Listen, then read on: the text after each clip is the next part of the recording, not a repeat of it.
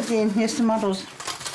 И хватает это буквально, ну, 4 3-4 часа. Настоящую русскую печь Наталья Волкова топит несколько раз в день, но деревенской романтики здесь мало, тепла хватает едва ли. Выше 15 градусов температура поднимается нечасто. На улице минус 16, на окнах монтажная пена, в комнате сразу два обогревателя, но в доме все равно очень холодно. Без верхней одежды находиться практически невозможно. Наталья и жители почти 30 домов целой улицы в деревне Хрипань Раменского района замерзают.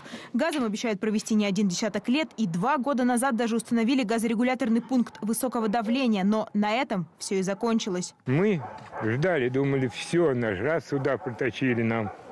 Ящик поставили, значит, у нас будет газ. Ну, вот уже 21 год. Для подачи газа осталось проложить к домам трубы, но каждый раз находятся причины, почему сделать это оказывается невозможно. То позапрошлом году не хватало финансирования. В прошлом году нам сразу сказали, что в этом году, значит, ну, прошедшем в 19-м не хватало, что-то там оставалось, не хватало. Вот эти согласования, сметы и так далее. И вот э, безобразие сплошное. Живут здесь в основном пожилые, пенсии только на дрова и хватает. Тут надо целый день топить, а дрова экономим, потому что дорого. Если пенсия 10, а у меня уходит 12 вместе с дровами и со светом.